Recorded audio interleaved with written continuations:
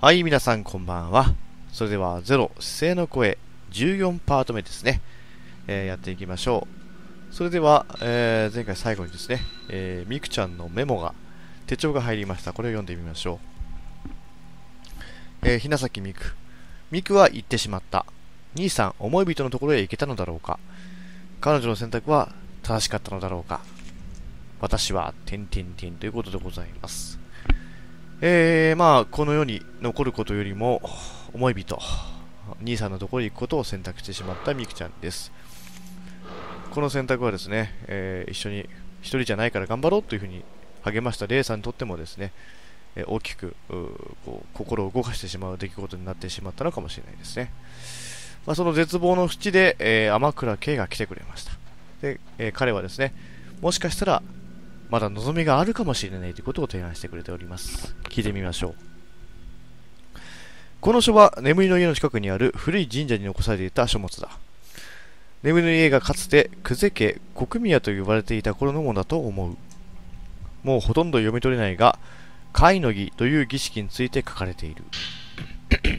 と読んでみましょうか。えー、かご船乗せて揺られ揺られて久世宮に祭り、えー、生立ちて、えー、えー、生き肌地て、ごめんなさい、生き肌地て刻み刻み、ひいらぎ納め、座目に、えー、声を刻み、自ら砕き、砕きて、思い流すべし。四根の儀、おわらば、死生儀、うがち、うがちて、いの儀、すべし。えー、苦音に沈め、沈めて、狭間に眠り、都国に、えー、こもり、こもりて、不穏にひいらぎ恥じるべし。うん。よくわかんないですね。こっちは、あ柏木明人という民族学者が眠り巫女という子守歌について書いた本だが、これにも同じような文が出ている。はい、読んでみましょう。陸奥には伝わる子守歌、眠り巫女についてさらに収集を重ねていたところ、より原曲に近いであろう歌詞を知るに至った。その歌詞を読み解くことから、この歌の成り立ちと意味について考えてみる。眠り巫女第一節。寝入りやせよ、旗手。寝入りやせよ、旗手。泣く子はかご舟、ついの道。一原刻んでおんめかし。寝入りやせな、坂見はき。前回掲載した寝入りな作用は、より深い、えー、古い形では、寝入りや作用。一原着せては、一原刻んでとなる。一原を刻むという表現が珍しく、これは同地方に伝わる分身業者、えー、伝承につながるのではないかと思われる。なるほど。本来の宗教局としては、えー、姿勢を刻むという意味を示しているのではないだろうか。眠り巫女第2節。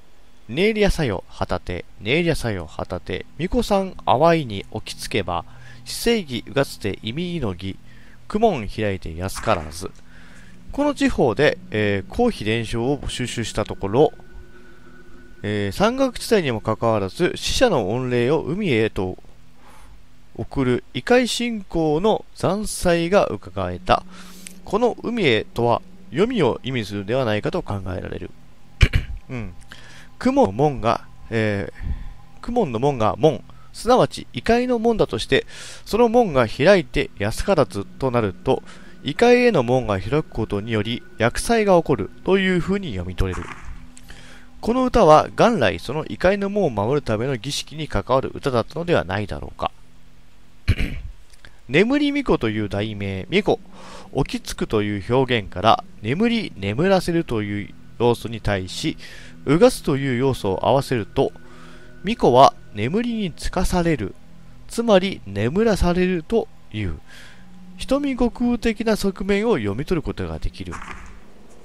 その儀式、宗教に関わるであろう伝承と地方の文献に残されていた絵図を合わせて掲載しておく。この絵図に、えー この絵図に、え、よると、絵図の地は小さな社が描かれており、国宮と添え書かれている。歌の刻んでという部分からも、ここで歌われていた歌であるということが伺える。うん。国宮の奥には巨大な海、かっこ読みがあり、国宮がこの世とあの世の世界として書かれているという、伝えると。絵図には、えー、添え書かれていた伝承は以下のようなものである。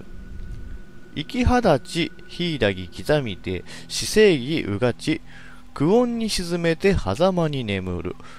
この伝承についても歌詞と同じく、うがち、沈め、眠ると、瞳悟空的な側面を読み取ることができるということでございます。えー、2冊の本から、貝の儀あるいは意味の儀とは、巫女に死生義をうがつということにより、苦音に沈めと読み取れる。苦門はおそらく読みの門のこと、何かの理由でそれが開いた。しかし、えー、巫女の獅子を正義でうがてば沈めることができるかもしれない。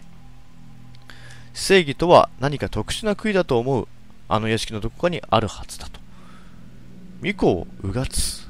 確か、優がこの歌を録音したテープを見つけたと言っていたんだが、何か聞いていないか。カセットテープ、部屋にあるかもしれない。ちょっと見てくると。はい。まあ、なんだろう、要約して言えば、えっ、ー、と、今回の原因ね、えー、この呪いの原因は、あの、姿勢の女、入れ墨の女ですね。えー、彼女を沈めるために、えー、眠らせるために、え4つの杭ですね。4つの杭を両手両足に打つ。まあ、うがつことによって、えまあ、封印、倒すことができるんではないかということを言っております。いいですね。そうそう、なんかラストっぽくなってきましたね。さあ、これは調べてないやつなんで、パパッと読んじゃいましょう。これはね、えっ、ー、と、シンクの町のやつですね。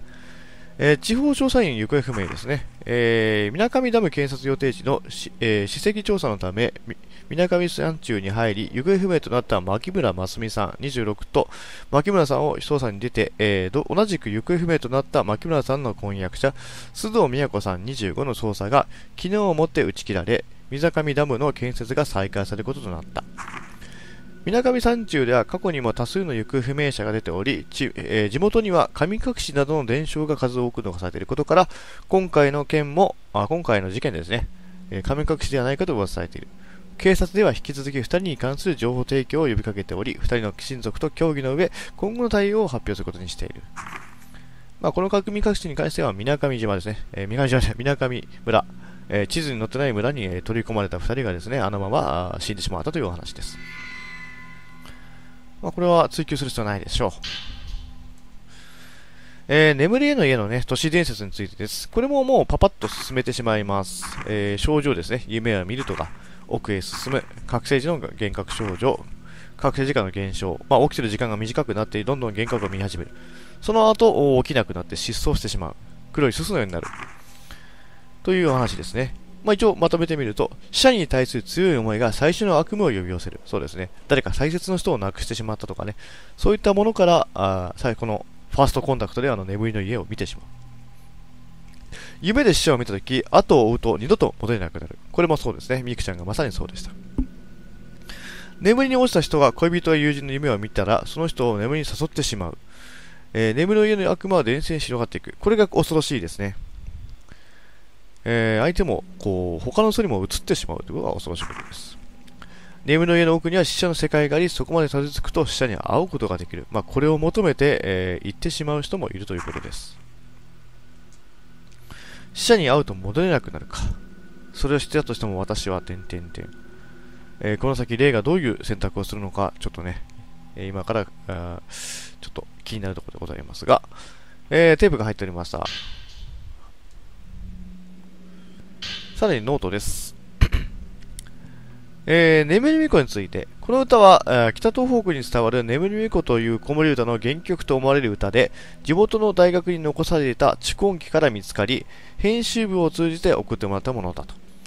聞いてはみたが、第1節、第2節とも、現在伝わっている眠り巫女とは少し違った内容になっているが、これは伝わった地方、時代による言葉の違いだと思われる。他にも第3節が、3節があるという大きな違いがある。詳しくは調べてみないとわからないが、第2節までと第3節では少し歌の印象が違うように思う。以下、聞き取りがある。聞き取りではあるが歌詞を書いた。眠り巫女第3節行きなさいを旗手、行きなさいを旗手、雪船揺らして旗手、この岸開いて旗手、老老見渡りか、かの岸に姿勢を渡して泣くが手上げ。第1節第2節は脅しの歌らしく怖い言葉がところどころに出てくるが、第3節は少し寂しげで悲しい調子の歌となっている。特に歌い終わりの部分は子守歌というより、弔いの歌のようにすら聞こえる気がするということです。えー、では、まあ、これをですね、天倉慶に見せてみましょう。えー、今、姿勢の声ですがね、えー、長々とやってきておりますが、えー、今回と、次回で、えー、まあ、クライマックス、最終回となります。で、今回も次回はですね、動画時間が非常に長くなってしまいますが、えー、週末にですね、え、ゆっくり見ていただければと思いますと。ああ、すまないって。何かの手がかりになるかもしれないから、今晩少し、見ておくよ、ってことです。さあ、夜パートでございます。えー、っと、まあ、そうですね。あの、若い女の人がね、二人いる家にですね、まあ、甘くだけ若い男性が入ってきてしまってると。まあ、寝るとこはないで、U のね、ベッドを使うのが多分、ね、使わせてあげたいところですが、やっぱその辺気にしてるみたいでね、彼は1階のソファーで寝てくれております。優しいですね、この人。では、カセットテープを聞いて、テープを聞いて、で、えー、早速、あの、世界に行きましょうかね。眠りへ行きましょうか。えー、乳母車の老婆が爆走しております。もう完全に現実世界に侵食してますね。まあ、幻覚症状を見るっていうのがね、えー、激しくなってくるっていうのが、あ症状の症症状、症例の一つですからね。まあ、霊障でしょう。霊障でしょう。2回言っちゃって。では、まあ大体、そうですね。50分ぐらいで終わればいいかなとは考えておりますが、まあちょっと歌を聴いて、歌とかね、テープ聴いてみましょう。はい。眠りみこでございます。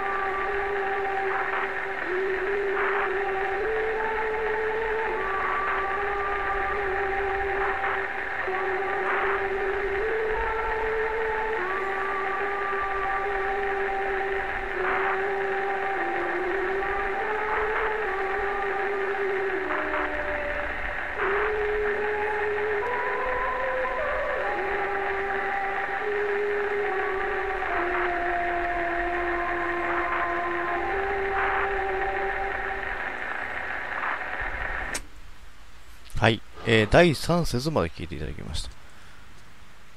最後のね、第3節はちょっと悲しむような歌になってるみたいですね。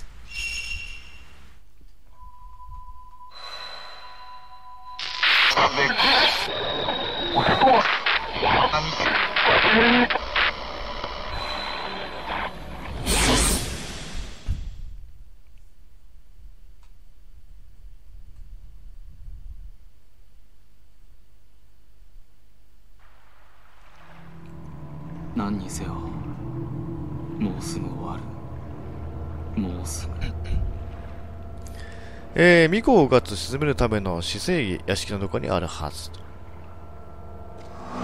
はい、では、第12章、貝の儀をやっていきたいと思います。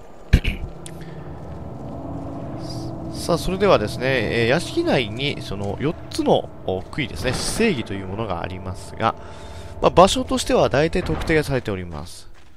というのは、あ杭をうがってる、うがつ。打っているのは、あ沈め、4人の沈めたちですね。あの、巫女さんたちです。あれが何か一生懸命杭を打っております。ということは、彼女たちにまつわる場所ですね。ちょうど4箇所あるはずですね。その部屋におそらく、その、死世紀と言われる杭はあるはずです。ただちょっと寄り道していきます。ささっとね。あんまり寄り道すると、おー、えー払いのね、えー、灯火が、えー結構ギリギリだったりするので、まあ、どっちで取ればいいんですけども、ここはさっくりいきたいと思います。まあ、ちょっとこれ後半になってきて、えーわからないこととかね、こんがらがってることがありますが、まあ、大きなあこととしてはですね、えー、柏木明人という民族学者ですね。そこから話は始まりますと。さあ、えー見てみましょう。青い日記ですね。えーお兄ちゃんが帰ってこない。もうすぐお祓いろうそくもなくなってしまう。美子様を見るだけだと一目会いたいだけとおっしゃっていたのに、帰ってこない。当主様はきっと追いかけられている。お、お社におのこを入れてしまった。きっとお許しいただけないだろう。帰ってこない、帰ってこない。もっとお話したかった。ずっと一緒にいてほしかった。要お兄ちゃんも、麗華お姉ちゃんも一緒にと。これはあまねちゃんの日記ですね。あまねちゃんは、まあお兄さんね、慕っていたお兄さんに会いたかった。もっと一緒にいたかった。で、えー、まあ、実のつながりはないんですが、まあ、麗華お姉ちゃんですね。えー二人が恋人あることも知ってたので、二人も一緒に会わせてあげたかったという思いから、あー禁じ、えー、掟を破ってしまったわけですね。優しい子ではないでしょうか。まあ、その兄と一緒にいたいという気持ちが、あーみくちゃんにも伝染してしまったという感じでしょうか。まあ、同調したっていうのか、伝染とは言えないね。では、その、柏木、あー明人がですね、えー、まあ、この、まれびととして招かれて、あ、火が、この、狭間の家、えー、の家に、えー来たわけです。で、夜だけなぜ、えー強化の部屋に通されるかというのは、要はまあ、まあ、種付けですよね。えーまたやらしい言い方しますが、えーこの家にもですね、まあ男性禁制とはいえ子供を作らなきゃならない。子供を作って、えーあの、次なる巫女ですね。9歳とかのね、沈めの巫女を、まあ、また作っていかなきゃいけない。えーね。そういうお役目をするための子供を作らなきゃならないわけです。なので、えー外からあまれびとをですね、呼びまして、えー種付けさせる。ただ、えー男子は禁制なので、えー生まれた子供が男の子だった場合は、おそらくですけど、あの井戸から投げ捨てて、えー殺してしまうんでしょうね。意味事として。なので、あの井戸で悲しんでる母親らしき人と赤ちゃんたちの顔がね、井戸に映ってるのだと思います。まあ、その、おー巫女はいますね。あ、姿勢の巫女がいますね。その時に生まれたのが、最初の子供がおそらく、えー、意味語である、要ですね。お、お月要です。あ、これ後でいいか。音付き要でございます。ただ、殺されてしまうと思ったので、えーすぐに、村の外に逃げ出させた。逃げ出させたんでしょうね。ちょっとね、あの、時代感がよくわかんないんですが、その後に、あの、アマネちゃんが生まれたんだと思うんですが、まあ、だから、えー、まあ、すべての始まりは、あ強化がですね、えーその、まれびとと恋に落ちる。それはいいんですが、移民語を生み落とし、それをこう、もう外に出したってことですね。まあ、話の途中ですが、ここ、ここですね、ミコの部屋に来ました。これ謎解きです。ちょっとめんどくさいんですけども、えー、火がですね、あの、杭の影がなくなれば OK です。なので、えっ、と、こうだったかな。はい。このように、えー、ちょっと影が均等になって、えー、なければこう、杭が抜けるわけです。これね、覚えてないんで、後が多分大変だと思います。まあ、その要を生み落とし、そしてそれを村の外に出したと。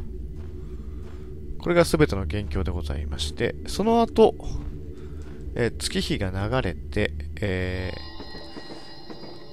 ー、まあ、実際のところ、その、アキトさんはですね、おそらく、アマネちゃんを、まあ、誤解人させた後、まあ、用済みということで、えー、そこでもう殺されてしまってるんですよね。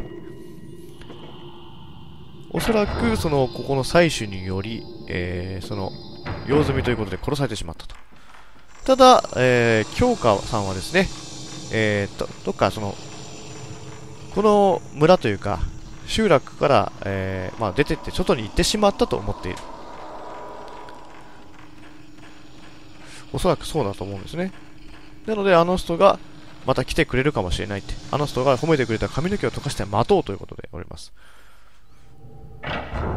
彼女はその殺されてしまったことを知らずにひたすら待ち続けてるわけですね。このように、今でももう逃がさない。しつこいぞ。まあ、顔が似てるだけで、えー、おい。ただ顔が似てるだけで別に、天倉圭と、あ、遅い。関係があるわけではないですけどね。おそらく、あ、とかちゃった。これは、どうしようかな。おっ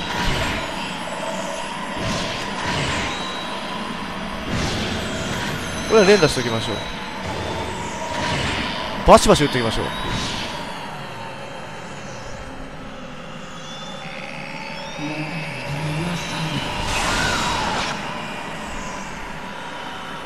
うん。ゼロも入ったかな。ちょっと距離を。壁にめり込まない距離に。惜しい。何泣いとんねん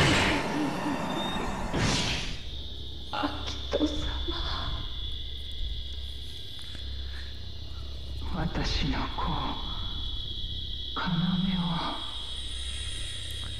えー、髪をどかす女性の霊がいた場所に紫の表紙をした本が落ちていると。秋田様は帰ってこない。みんな私を置いて屋敷から出て行ってしまう。いつも私だけが残される。ここで髪をすきて待ち焦がれて、どんなに髪をすかし、えー、すか、えー、溶かしても、どんなに思いを集めても、あの人は帰ってこない。あの耳飾りも、あの子も、あの人への思いを伝えてはくれるのだろうかと。まあ、ですから、これで、えー、まあ、こっそり逃がした小月要がですね、成長して、えー、霊下と言われる、巫女ですね。姿勢の巫女になるべき人物と、こう、恋に落ちてしまう。あちゃ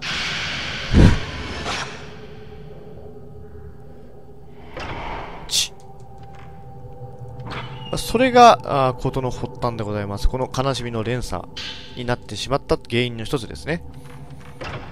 で、えー、まあ、霊下と言われる、その、クゼ霊下ですね。は、あのー、クゼ家のあ、こっちじゃねえよ。まあ、正当なあ子供ではなく、まあ、養子なんでしょうけども、入ってきて、で、人々の柊、ああ、しまった。ろうそくが、痛みを、お一,、まあ、一斉に、まあ、引き受ける。その、痛み、柊をですね、悲しみか、を、こう、姿勢にして、え引き受ける。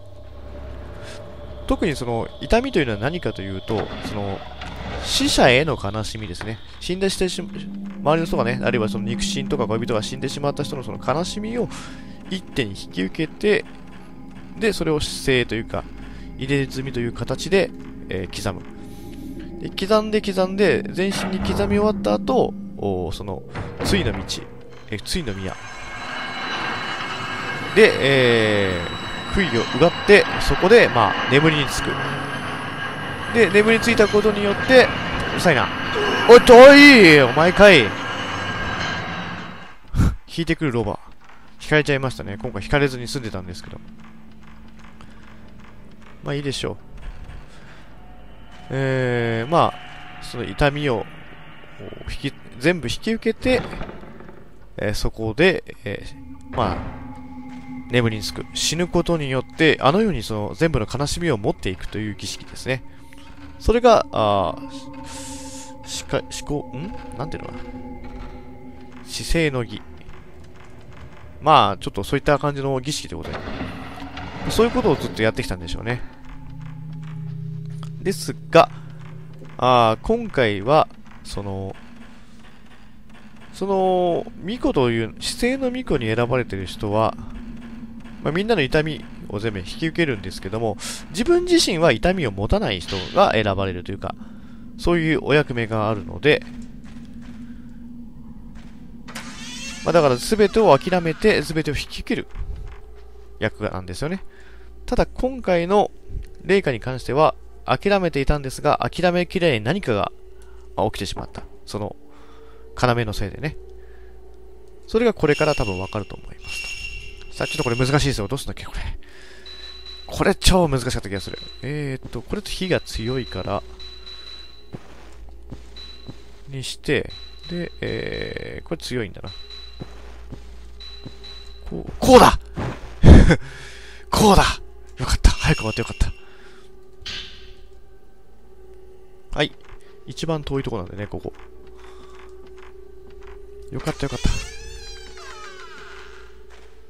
ちょっと私はこう、かいつまんで喋ってますが、だいぶ間違ってるところもあるかもしれないですけど、まあ、おおよそこういったお話であることが、えー、大筋だと思います。まあ、わからないこともいっぱいありますけれども、まあ、恋の物語であるわけでね。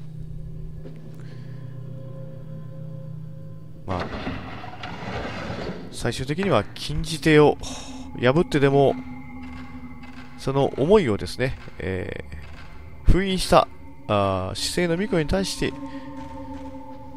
まあ、金を破って男が会いに行くと言ってしまったということが、ことの発端であると。では、えっ、ー、と、あれですね、巫女のこの部屋が、えー、中央の、えー、中庭の左右にあるので、ちょっとそこで、あと2本はすぐさっと取れますのでね、ちょっと今、ろうそくがヤバめですけども、ここはさっさといっちゃいましょう。屋敷のね、ど、至るところにあるっちゃあるんですよ、このろうそく。灯火はね。なので、やべえなと思ったら取りに行ってもいいと思います。まあ、ここが一番取りやすいので、取っちゃいましょう。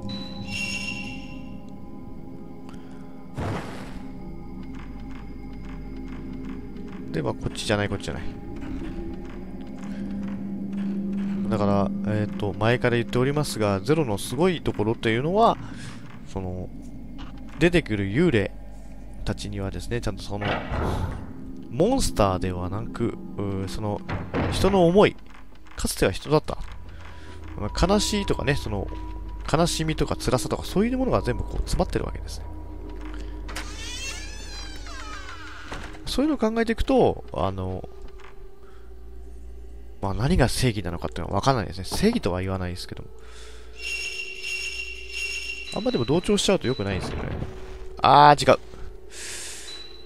これはね、えー、これはね、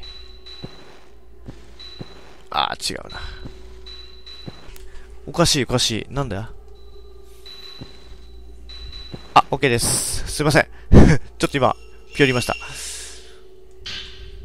えっ、ー、と、めんどくさいのでカットしておきます。今、ハマったね。覚えてるはずなんだけど、あれ？って、思い通りにいかなかったですね。ちょっと次も頑張りましょう。えー、一旦セーブさせてください。あいつやばいやつです。あ、くそセーブしたかったのにあいつやばいやつです。まあいいや、この後セーブさせてください、じゃあ。いや、でもね、怖いんですね。ここでね、バグることあるんですよ。セーブのタイミングであいつ出てきやがったな。この部屋でバグることがあって、前にもここで詰まったんですけど、大丈夫かなまあ、信じましょう。えー、っと、結構、えー火が強いですね。はい、OK です。今回うまくいきました。さあ、でも、これで全てが揃ったんですね。みんな死ぬよみんな死ぬよって。で4本揃ったので、間に合うはずだこいつを持って、えー、ミコをですね、うがちに行きましょう。さあ、嫌なのがここですね。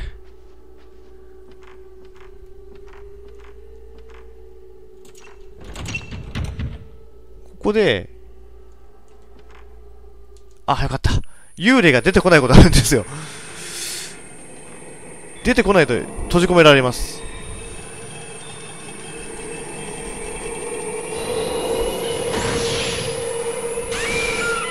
あー、しまった。こいつがね、めっとかだっけ。高速なんですよな。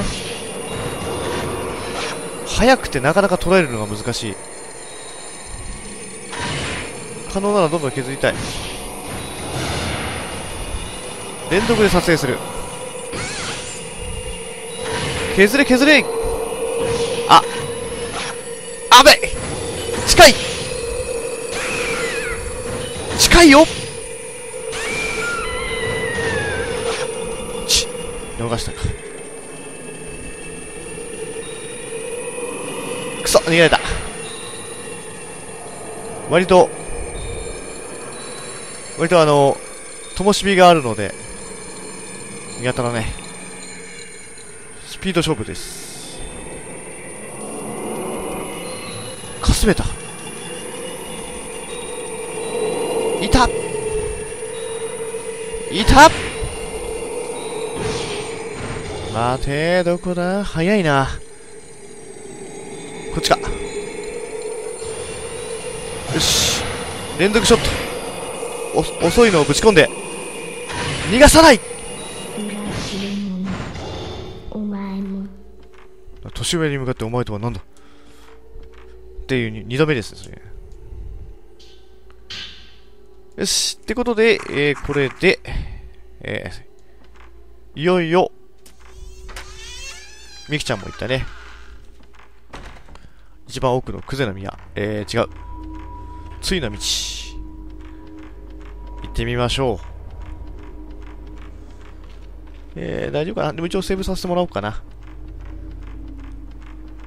セーブさせてください。はい、OK です。では行きましょう。さっきあの、おばあちゃんに引かれたところがちょっと痛いですね。だいぶダメージを受けて。さあ、アイテムもありますが、えー、もう仕方していっちゃいましょう。もうさっくり進みます。えー、奥の奥へと入っていきましょう。果たして、この、おこの杭をね、アイテムいっか。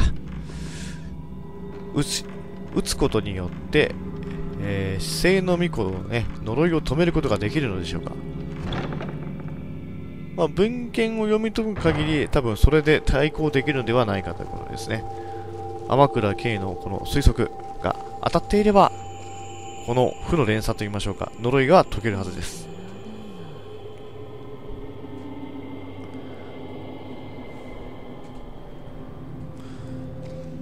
さあ、天倉慶もいよいよここに到達しました。一番深いところですね。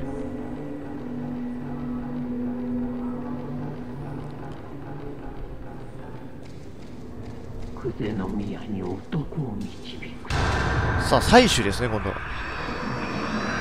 風情の宮に採取。こいつはもう、あの、バシバシ撃っていきましょう。どうせ、どこ行った？あれがないですかね、私はね。あ、手が飛んでくる。痛い手ついちゃったよ。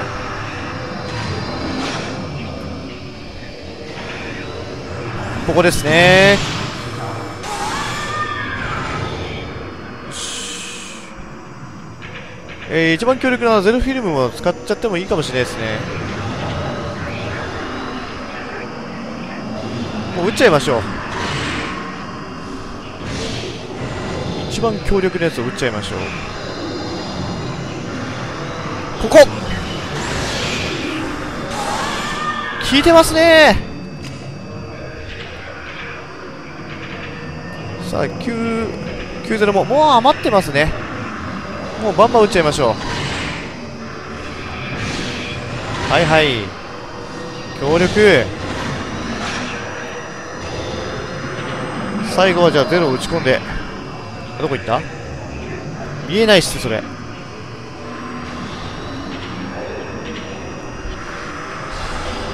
外したか。まあいいや。こいつが、えー、で、まあ、このクゼの採取ですね。えー、まあ、取り仕切ってるものです。まあ、この人にもいろいろ、あれがあるんで、事情があるんだと思いますけどね。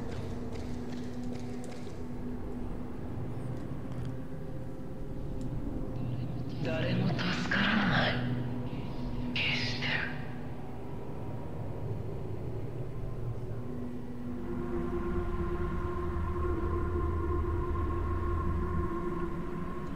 ここがさあ、これが最後ですね。眠りにつかなかった、えー、姿勢の巫女を、奥の眠りの宮でしたっけ？と言われる場所に、まあ、送り込むというふうに書いてありました。多分、あそこで死ななかった巫女をですね、ここに送り込んで、ここで最後の時を迎えさせるということです。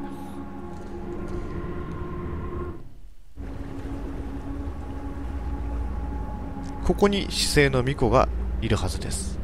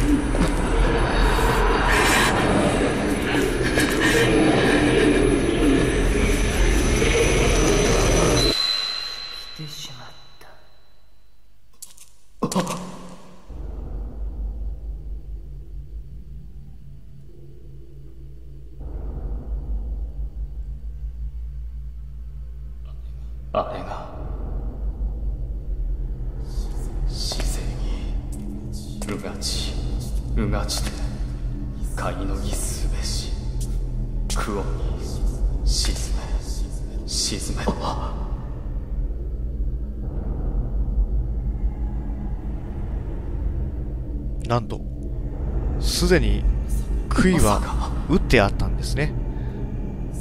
そんなはずは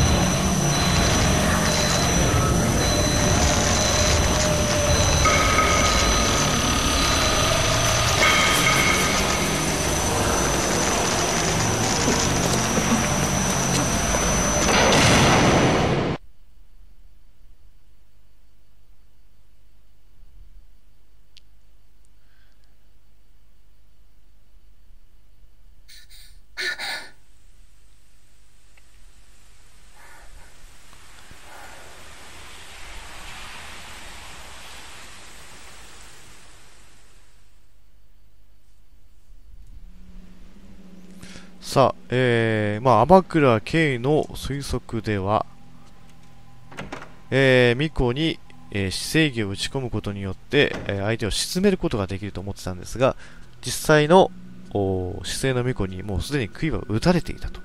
だから、打って沈めるということはできないということが分かりました。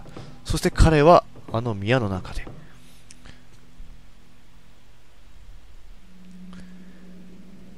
えーと、以前にね、その、実況動画とかでね、多分見たことある人もいるかもしれないんですが、親と思ったと思います。えー実はですね、1周目のプレイの部分は、ここで、えー、天倉慶はススになってしまいます。つまり死んでしまうんですよね。彼を助けることができません。ですが、えっ、と、2周目のプレイで、えー条件を満たしていると、彼はこういう風に死なずに済みます。えー今、ミクちゃんと同じ状態ですね。えー、仮死状態でございます。なので、えー少しエンディングがこれで変わります。まあ、エンディングじゃないんですね。スタッフロールが少し変わったのかな。なので、えー次回最終回となりますが、そのエンディングに、真のエンディングの方を皆さんにご覧になっていただきたいと思います。はい。というわけで、えーゼロ姿勢の声ですね。次回が最終回となります。それではまた次回お会いしましょう。さようなら。